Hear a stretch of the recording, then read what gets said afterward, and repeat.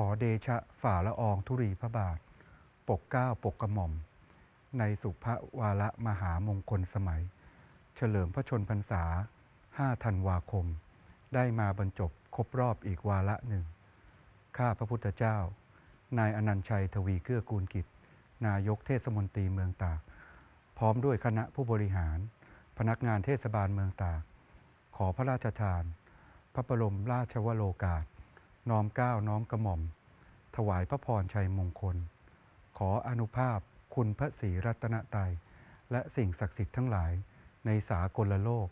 ตลอดจนพระบรมเดชานุภาพ แห่งสมเด็จพระมหาบูรพกษัตรี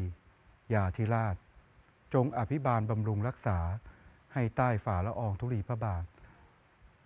จงทรงพระเจริญยิ่งยืนนาน พระเกียรติคุณแผ่ไพศาล ทรงพระเกษมสำราญปราศจากโรคาพยาธิ อุปัทวันตรายทั้งปวง ขอจงทรงสถิตเสถียรจำเริญจำรัส ด้วยพระเกียรติคุณเป็นมิ่งขวัญแก่ประสบนิกรชาวไทย ตราบชั่วนิรันดร์กาล ด้วยเกล้าด้วยกระหม่อมขอเดชะ